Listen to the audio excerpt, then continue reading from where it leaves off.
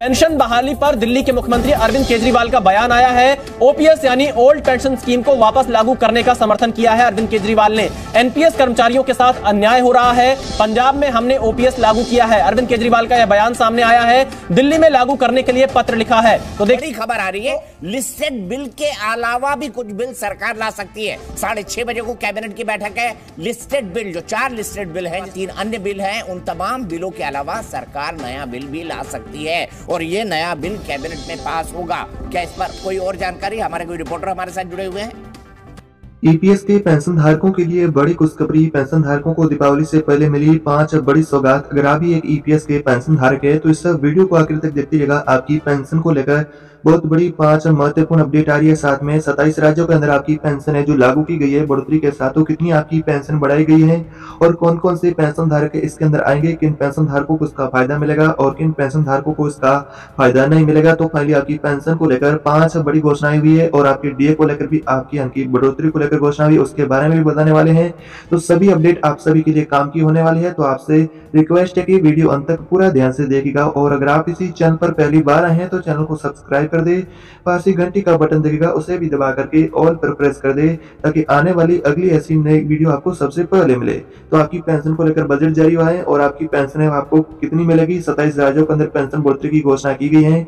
तो उसके अंदर आप भी आते हैं तो आपको अब कितनी पेंशन मिलेगी? पाँच मुख्य घोषणाएँ हुई उनके बारे में आपको बताएँगे। पूरी विस्तार से जानकारी उसी के साथ आपको बता दें कि आपकी पेंशन को लेकर नई लिस्ट जारी कर दी गई है। उसके अनुसार आपको पेंशन मिलेगी और पेंशन धारकों को उनका असली हक है जो अब से मिलना शुरू होने वाला है। यानी कि सीबीटी की पहले बैठक हुई सुप्रीम कोर्ट के द्वारा, जिससे कि प्रस्ताव को मंजूरी मिली, जिसके बाद सुप्रीम कोर्ट ने पेंशन बढ़ाने को लेकर आदेश दिया, जिसके बाद सीबीटी की बैठक हुई।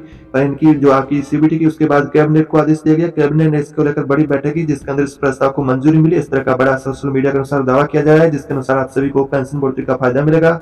अब आप सोच रहे हैं कि कौन से पेंशन धारकों को कितनी पेंशन आपको मिलेगी? आपको बता दें कि आपको पेंशन है जो कि पाँच हज़ार रुपए से लेकर के नौ हज़ार रुपए तक मिलने वाली है। इसके लिए कुछ टर्म एंड कंडीशन दी गई है। उनको यानी कि जो कर्मचारी पूरा करते हैं, जो नियम और शर्तें हैं, अगर आप भी उनको पूरा करते हैं तो आपको इसका फ़ायदा मिलेगा। ऐतिहासिक फैसला आपकी पेंशन को लेकर जारी हुआ है और पेंशन ट्रांसफ़र को लेकर भी फाइली यानी कि फैसला जारी हुआ है।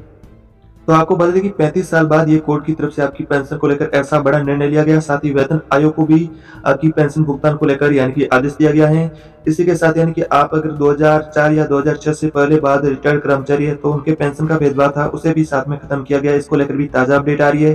जो पेंशन धारक है, पेंशन के भेदभाव का सामना कर रहे हैं, उनके लिए तो यानी कि बहुत ही बड़ी खुशखबरी जारी हो चुकी है। उन सभी को बराबर पेंशन मिलेगी।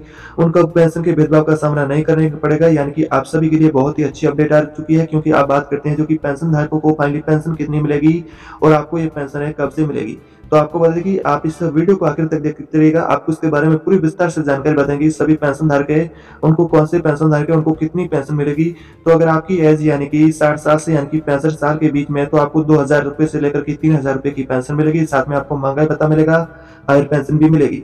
जो कर्मचारी यानी कि पैंसठ वर्ष से यानी कि कम उम्र का है, जो कि साठ वर्ष से अधिक है उनके लिए तो यानी कि दो हज़ार रुपए से लेकर के तीन हज़ार रुपए की पेंशन रखी गई है। निर्भर करेगी आपने कितना कंट्रीब्यूशन किया, जो कर्मचारी दस साल का कंट्रीब्यूशन किया है तो उनको उस हिसाब से पेंशन मिलेगी। उन्हें जिन कर्मचारी ने दस साल से अधिक कंट्रीब्यूशन किया है तो उनको उन हिसाब से पेंशन मिलेगी।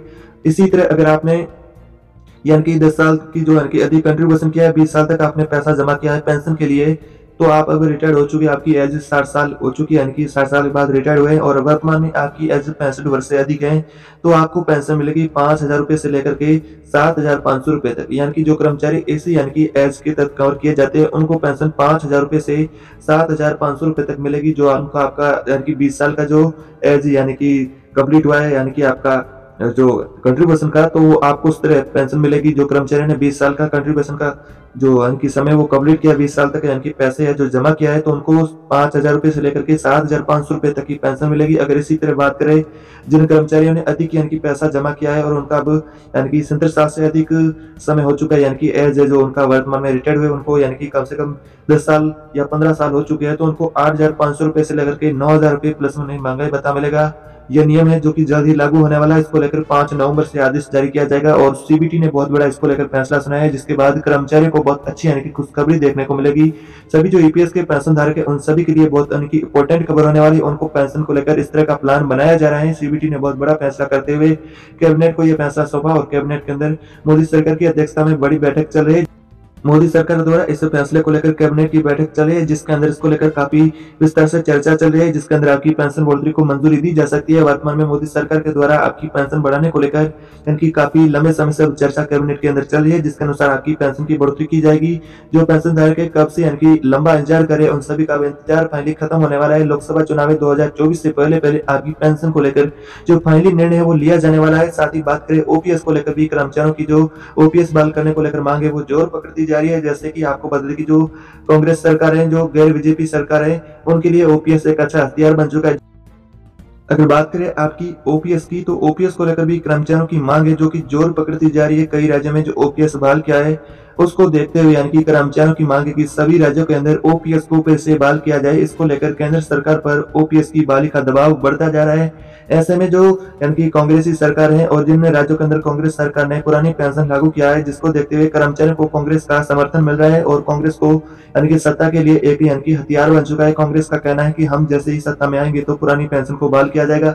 अगर इसी का नतीजा देखा जाए तो जैसा कि हिमाचल प्रदेश है, राजस्थान सरकार है जो यानी कि जिस राज्यों के अंदर कांग्रेस की सरकार आई है तो उन्होंने ओपीएस को फिर से बहाल किया है। ऐसे में अब कर्मचारियों की मांग है कि पूरे यानी राज्यों के अंदर ओपीएस को फिर से बहाल किया जाए, जिसको लेकर यानी कि मांग है जो कर्मचारियों की बढ़ती जा रही है और आंदोलन भी तेज होते जा रहे हैं, जिसको देखते हुए केंद्र सरकार को बड़ा यानी कि दबाव के अंदर बनाया जा रहा है, जिसके अंदर केंद्र सरकार को फैसले लेने को लेकर मजबूर किया जा रहा है की फिर से ओपीएस बहाल किया लेकिन केंद्र सरकार की तरफ़ से अभी तक कोई स्पष्ट यानी कि फैसला नहीं है कि आपकी ओपीएस को फिर से लागू किया जाएगा, लेकिन इसको लेकर भी साथ में बैठक के अंदर चर्चाएँ काफ़ी तेज हैं कि ओपीएस को कैसे लागू किया जाए या फिर एनपीएस में बदलाव किया जाए जिसके अंदर पेंशन धारकों को अच्छा फ़ायदा मिले। इसको लेकर भी कमेटी का गठन किया गया है और कमेटी इसको लेकर काम भी कर रही है कि फिर से ओपीएस को लागू किया जाना अच्छा है या फिर एनपीएस में कुछ बदलाव किया जाना अच्छा है।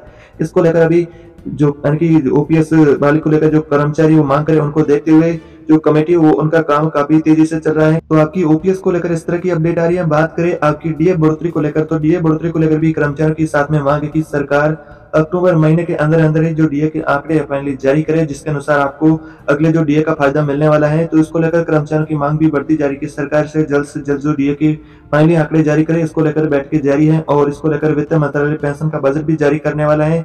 तो इसको लेकर पाँच नवंबर से पहले पहले आपका यानी कि पेंशन बढ़ोतरी का जो ये फैसला है, उसको सुलझाया जाएगा। इसको लेकर कैबिनेट की बैठकें वो जारी है, जिसके अंदर तेज़ी से चर्चा की जा रही है कि आपकी पेंशन को लेकर जो कर्मचारियों की मांगे, उन सभी को खत्म किया जाए। तो उसको लेकर काफ़ी यानी कि लंबी समय से यानी कि जो चर्चा चली जा रही है और लंबे समय से पेंशन धारकों की मांग भी चली आ रही है फिर से या पेंशन ईपीएस की बढ़ाई या फिर ओपीएस को बहाल किया जाए, इसको लेकर भी चर्चा यानी जारी है साथ में कर्मचारियों की मांगे की जो अठारह महीने का डी एरियर बकाया उसको लेकर सरकार फैसला करे। तो उसको लेकर भी फैसला करने वाली है। उसको लेकर यानी कि केंद्र सरकार साथ में इसको यानी कि चर्चा का विषय बनाया गया कैबिनेट की बैठक के अंदर की अठारह माह का जो डी एरियर को कर्मचारियों को जल्द से जल्द भुगतान किया जाए। उसको लेकर यानी कि आपको बता दें कि आपकी बारह अक्टूबर से पंद्रह अक्टूबर तक यानी कि आपके खातों में भुगतान करने को लेकर अपडेट आ रही है कि इस अवधि के अंदर आपकी कैबिनेट की बैठक से इस प्रस्ताव को मंजूरी मिलेगी, जो कि अठारह माह का डी एरियर है, उसके बाद आपके खाता में भुगतान किया जाएगा। तो इसलिए फ़िलहाल आपके लिए ये पाँच बहुत बड़ी अपडेट आ रही है, जो कि ओपीएस है डी है और अठारह माह का एरियर है और मेडिकल साथ में आपको सुविधा को लेकर भी पेंशन धारकों की मांगे, उसको लेकर भी चर्चा साथ में की जा रही है। और ईपीएस की मिनिमम पेंशन बढ़ाने को लेकर भी चर्चा हो रही है। सीबीटी ने बहुत बड़ा फैसला सुना है, इस तरह की बड़ी ताज़ा जानकारी है जिसके अनुसार जल्दी आप सभी को